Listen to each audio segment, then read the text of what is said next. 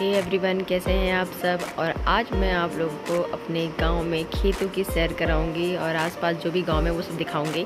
तो चलिए चलते हैं। ये आप देख सकते हो जो लोग गाँव से में रहे होंगे वो तो जानते होंगे। इसको कुठला बोलते हैं। ये मिट्टी का बनाया जाता है और ये मेरी दादी ने बनाया तो, तो ये काफ़ी पुराना है और गाँव में इसको ना चावल या गेहूँ रखने के लिए स्टोर करने के लिए चीज़ों को राशन के लिए ये बनाया जाता है। तो अभी मैं आपको दिखाती हूँ खेत। तो ये खेत में सरसों लगे हुए हैं। से पीले पीले से फूल लगे हुए हैं। इसमें है लहसुन धनिया आप देख सकते हो दिख रहा होगा लहसुन है धनिया है प्याज है। तो ये सारा सब कुछ खेत में लगा हुआ है पालक भी लगा हुआ है। तो अब हम लोग इसमें से कुछ सब्ज़ियाँ तोड़ेंगे और अब फिर घर की तरफ़ चलेंगे। तो अरविंद तोड़ रहा है सब्ज़ी। अरविंद देखो ये है अरविंद ने क्या क्या क्या तोड़ा अरविंद बताओ जरा। इसमें बेबी पटेटो है। बेबी पटेटो धनिया है प्याज है। तो ये आज अरविंद पूरा निकाल रहा है सारा सब कुछ खेत में आके। तो आपने देखा कि कितना ग्रीन ग्रीन सा है, एकदम फ्रेश बिल्कुल सब्ज़ियाँ हैं। हमें तो सिटीज़ में फ्रेश नहीं मिल पाती है, क्योंकि ये तुरंत से खेत से तोड़ के तुरंत बनाओ तो उसका टेस्ट कुछ और ही रहता है। तो यार गाँव में ना इस चीज़ के बहुत अच्छे मज़े रहते हैं कि एकदम फ्रेश फ्रेश खाने को मिलता है हम लोगों को। तो गैस पहले हम ना क्या है, बहुत कम गाँव आते थे तो हम लोगों को ज़्यादा कुछ पता नहीं होता था। मतलब फ़र्स्ट टाइम मैंने गेहूँ की फ़सल या फिर धान की फ़सल यहाँ पर देखना स्टार्ट किया, पहले तो हम बिल्कुल भी कुछ भी नहीं जानते थे। तो जब भी हम गाँव, इसलिए जब भी शहर में भी रहो ना तो गाँव के टच में रहना चाहिए ताकि आपको सारी चीज़ें पता होनी चाहिए कि क्या कैसा होता है, फ़सल कैसी होती है, जो हम खाते हैं, हमें यही नहीं पता होती कि उसकी फ़सल कैसे होती है वो कैसे उगता है कैसे दिखता है बस हम लोग को जो सिटी में मिल जाता है पैक्ट वो हम लोग खा लेते हैं। तो इसलिए गाँव के टच में भी रहना चाहिए बहुत कुछ सीखने को मिलता है बहुत ही कुछ जानने को भी मिलता है अपने को। और ये इधर यहाँ पे देखिए यहाँ पे क्या कहते हैं गोबर के ओपले बनते हैं ना? यूपी में इसको गोईठा बोलते हैं। और इधर पूरा लगा हुआ है प्याज लहसुन ये सारी चीज़ें और यहाँ पे लगे हुए हैं चना जो मेरे खेत में लगा हुआ है अभी। आप देख सकते हो। और साथ ही मैं आपको एक बहुत ही खूबसूरत सी चीज़ें दिखाती हूँ। ये देखिए इधर। ये देखिए गोभी, पत्ता गोभी। इसका फल ऐसे लगता है। यार पालक है, इधर आम का बगीचा है। और पीकू, चल कैसे ले रही? देखो अरविंद, देखो, उसका हाथ पकड़ लो, मैं सूट भी कर रही हूँ। गड्ढे है ना? जाओ, लल्ला के पास जाओ धीरे धीरे। जाएगी ही नहीं। चलो। चलो, मैं चल रही हूँ पीछे पीछे ना, मैं वीडियो बना रही हूँ ना। हैं? गेहूँ है? तो भैया आप देख सकते हो, ये जो है बिल्कुल गेहूँ की फ़सल है और ये दूर तक, जहाँ तक अपनी आँखें जा रही है ना, वहाँ तक बिल्कुल गेहूँ लगा हुआ है।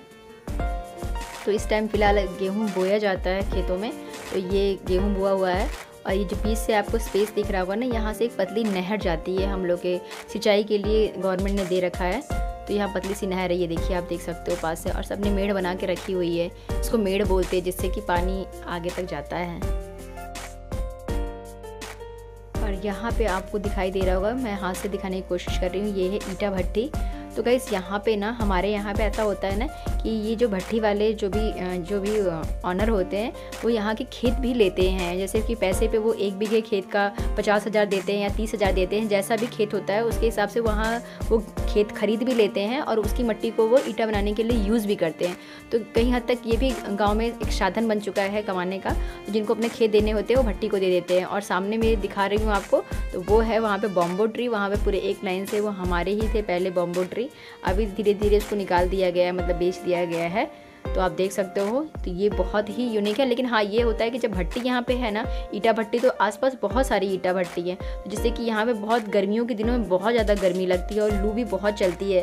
तो ये थोड़ा ड्रॉबैक रहता है यहाँ पे। अगर गाँव में आपके पास ईटा भट्टी हो जाती है ना तो ये थोड़ा ड्रॉबैक होता है। और ये यहाँ पर कोई आंटी हैं जो खाद डाल रही हैं अपने खेतों में। ये देखिए। ये यहाँ पे वो शायद अपने खेत में फर्टिलाइज़र डाल रही थी, खाद डाल रही थी, फिर हम लोग को देखी तो वो चली गई। तो शायद मेरी शर्मा गई होंगी। कुछ कह नहीं सकते। और मैं आपको एक चीज़ दिखाती हूँ, गाँव में भी लोग काफ़ी अवेयर हो गए हैं। तो आप देख सकते हो कि यहाँ पे देखिए साइड से नालियाँ निकाली गई हैं और मुझे लगता है खेत से लेके अपने घर तक किसी ने अपना बिल्कुल चौराहा बना के रखा है। तो जो भी जो डांडे वाला, डांड वाला जो कॉन्सेप्ट था ना, वो धीरे धीरे ख़त्म सा ही होता आ रहा था। इसी टाइप से बना दिया गया है गाँव में। तो गाँव में भी काफ़ी खूबसूरत से लोग बनाते हैं, क्योंकि लोग अच्छे से रहना चाहता है हर एक इंसान अच्छे से रहना चाहता है चाहे वो गाँव में हो, चाहे शहर में हो, सबको अच्छे से रहना पसंद है। तो लोग अपने हिसाब से उसको मॉडरेट करते रहते हैं। और ये है आम का बगीचा। और बचपन में हम लोग जब छोटे छोटे थे ना तो सारे भाई बहन यहाँ आम के बगीचे में हम लोग खेलते थे। आई नो आप लोगों को पता होगा कि नहीं होगा, लेकिन उस टाइम एक हुलवा पताल नाम का एक गेम हुआ करता था, जब हम लोग डंडी फेंक के और उस पर पेड़ पर चढ़ जाते थे, फिर सामने वाला बंदा डंडी लेने जाता था। तो ये एक गेम हम लोगों ने बचपन में खेली है। तो पता नहीं, आप लोग खेले होगे तो कॉमेंट में बताना प्लीज़ और मैं आपको अब दिखाती हूँ, ये है गेहूँ। ये है गेहूँ का फल मैंने तोड़ के आपको दिखाया है। ये इस टाइप से कुछ होता है, इसमें कांटे जैसे लगे होते हैं। इसमें अभी दाने नहीं आए, इसके सेल्स बन गए हैं बट इसके अंदर जो बीज होता है ना, अभी बना नहीं है। ये देखो, आप बहुत छोटा सा बीज था इसमें, और ये खाओगे ना तो बहुत ही मीठा लगता है मतलब बहुत टेस्टी लगता है। चुकंदर तोड़ लिया है पेड़ से। दिखाओ बेटा, चुकंदर दिखाओ वीडियो में। ये कैसा है? आपको यहाँ अच्छा फील हो रहा है?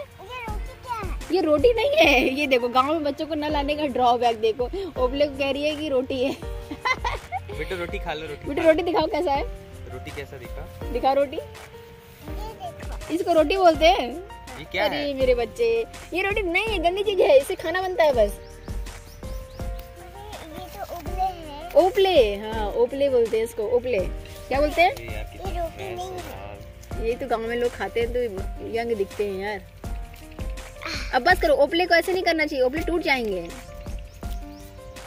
ओपले को ऐसे करोगे तो टूट जाएँगे ना ओपले। अरे ये तो हम लोग ये चुलबुल की मम्मी मारेगी फिर आपको बहुत मेहनत से बनाया चुलबुल की मम्मी ने। हाथ गंदे हो जाएँगे ना फिर आपके। तो खतरनाक है छोड़ दो छोड़ दो छोड़ दो छोड़ दो खतरनाक है चुलबुल की मम्मी। छोड़ दिया बेटू आपको गाँव में कैसा लग रहा है? अरे चुनु की मम्मी देखो क्या बोल रही है? कह रही चुलबुल की मम्मी। हाँ, तोड़ लो ना, तोड़ लो। बड़ी तोड़ लो थोड़ा बहुत तोड़ लो। तोड़ लो निमोना बना लेंगे। जो यूपी के लोग होंगे गाइस उनको पता होगा निमोना क्या होता है। तो मटर का निमोना बनता है और बहुत ही टेस्टी लगता है ये।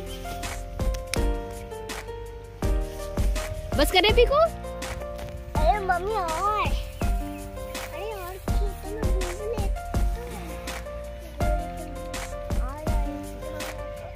तोड़ रहा है। ये हम लोग के खेतों में हरा हरा जो है ना फ्रेश खाने का ना एक अलग ही फील रहता है और उसमें टेस्ट भी बहुत अच्छा रहता है। अगर आप उसी को ना रख दो दो तीन दिन फिर खाओ तो टेस्ट उतना नहीं आता है। जितना खेतों से तोड़ा हुआ फ्रेश का एक अलग ही फील आता है। ये देखो गाँव की बात। इसलिए कह रहे जाओ इधर बैठो मेरे पास आओ जल्दी आओ। तो मैंने कैमरा पकड़ा है तो अरविंद तोड़ के लेके आ रहा है। देखो ये फ्रेश मटर है देखो। ये देखो नीचे करो तो हाँ। ये देखो कितना फ्रेश मटर है इसका खाने का टेस्ट ही कुछ डिफरेंट रहेगा। फ्रेश मटर के ऊपर ना एक लेयर रहती है। और ये पता नहीं किस चीज़ की लेयर रहती है लेकिन वाइट वाइट सी लेयर रहती है और इसको आप खाएँगे ना तो बहुत टेस्टी बहुत ही फ्रेश फील होगा। तो मैं खा के मैं फ़िलहाल मज़े लेती हूँ। आप लोग जो अपने अपने गाँव जाना और वहाँ पे जाके इंजॉय करना। ऐसे बैठ के हम लोग मस्त हरे हरे मटर खाएँगे। है हरे मटर खाएँगे।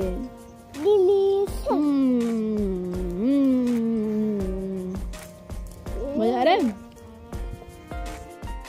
साथ ही साथ आप देख सकते हो यहाँ पे कैवेज भी लगा हुआ है पत्ता गोभी। एकदम मतलब पहले ना ये ऐसे चारों तरफ़ से फैल जाता है फिर धीरे धीरे अंदर की तरफ़ गोभी बनना स्टार्ट हो जाता है। अब हम घर की तरफ़ लौट रहे हैं तो घर के पास में ही ये भी है ये सैतूत का पेड़ लगा हुआ है। तो यहाँ पे सैतूत अरविंद तोड़ रहा था और ये जो आपको दिख रहा है ना ये राउंड राउंड सा दिख रहा है लोहे का। तो ये चारा काटने की मशीन है। पहले हम लोग मस्ती मस्ती में इसमें चारा काटते थे तो ये चारा काटने की मशीन है। यहाँ से चारा लगाया जाता है, जिसमें आप देख रहे होगे ना, तवी की तरह है। तो इसमें चारा डालते हैं और वहाँ से कट जाता है। और ये पीकू आ रही है घूमते घूमते और चुलबुल ने इसको चॉकलेट दे दिया है। तो यहाँ पे और भैंसे वगैरह भी बधी हुई हैं। और अब हम सारा सब कुछ लेके अब चलेंगे घर।